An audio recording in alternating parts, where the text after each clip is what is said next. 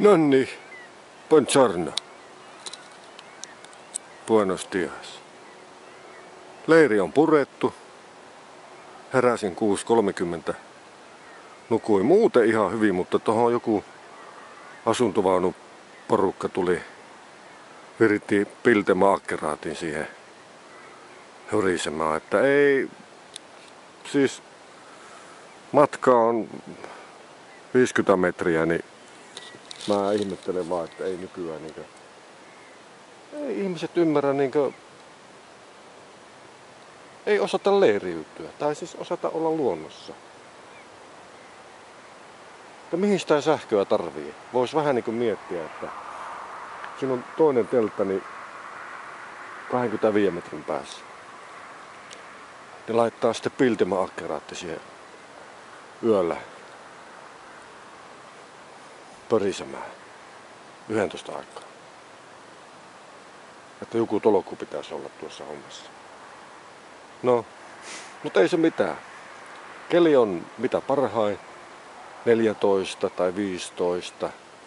Yölläkään ei ollut yhtään kylmä.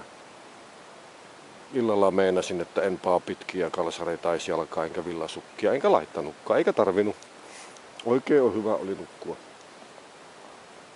Joo että tota niin, tuonne lähdetään tuonne tunturiin testaamaan näitä uusia.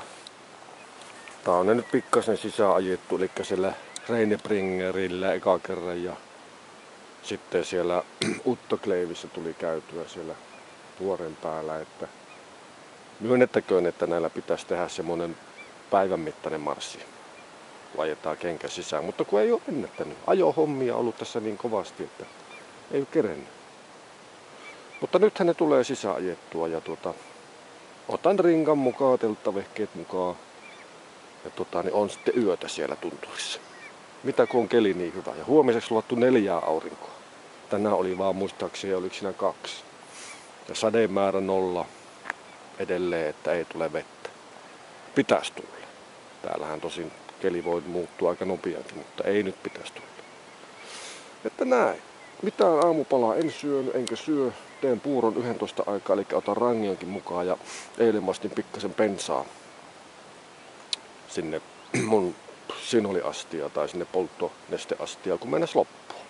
Ei siellä ollut varmaan kuin enää semmonen desi ja mä ajattelin, että mä en saa sillä kolme kertaa tehtyä tuota ruokaa, että niin kolme, kolme tuli annosta tarvitaan. Niin mä otin pensaa pikkusen, kruunulla otin pensaa, niin nyt siellä on taas sitten sen verran, että mä pärjään.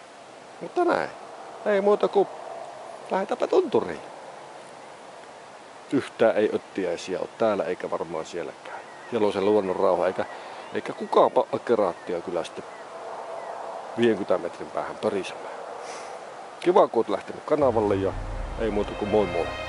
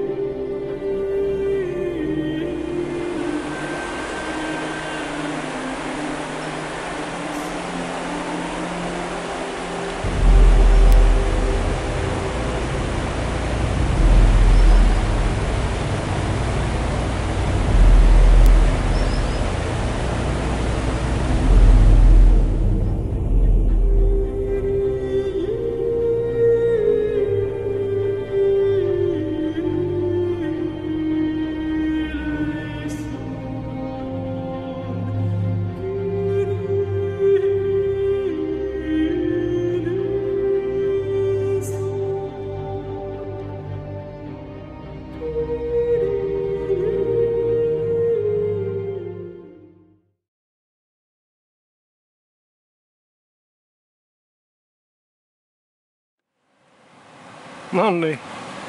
Maastokätkät on tehty. Kypärä, kaksi putkisäkkiä on tuolla piilossa ja valmiina ollaan patikkaretkellä.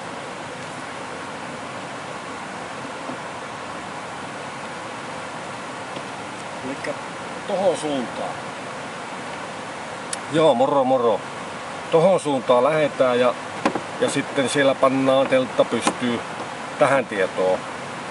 Että tuota niin, yö oli tarkoitus olla siellä ja, ja tota niin, maastokätkö on tuolla tosiaan.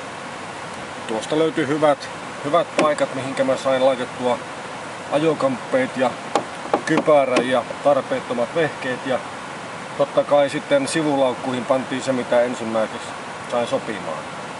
Syötyä on kello 11.59, tasan tarkkaan noin ja kännykkäkenttähän tuolla ylhäällä ei ole, niin, niin, niin jossain vaiheessa tää pannaan sammuksiin tää puhelin, koska suottahan se, suottahan se vie tuota akkua. Että näin. Ei muuta kuin kiva, kun on tullut kanavalle ja se on hatunnostoarvoinen suoritus.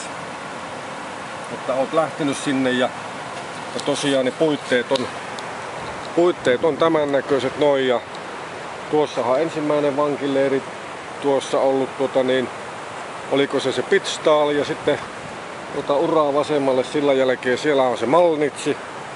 Sitten siinä on niitä Naton kylmän sodan ajan punkkereita. Katonpa vai senkin, onko se vielä auki se yksi, mikä on ollut tuota YouTube-videollakin. Ja, ja sitten tuota siellä ylhäällähän, siellä on sitten se Kitzbuhel ja siellähän se vasta iso olikin se, se, tuota, se betonipunkkeri järjestelmä. Tai niitä oli itse asiassa neljä vai viisikö siellä oli. Jaha, täällähän pyöräilee. Hei hei.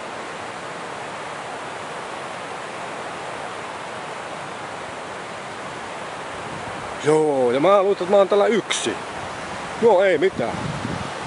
Niin, tämähän reitti on se lamkkari, mikä menee taas tota niin, tämä, tämä, tämä norjalaisten kuulu pyöräkisa on tossa tota niin, parin kolmen viikon päästä. Muistatte varmaan, siitähän oli viimeisessä tota niin, patikka reissussa mulla juttuakin, että tuota niin, 500 pyöräilijää meni tonne, kun mä kuvittelin, että mä saan olla rauhassa.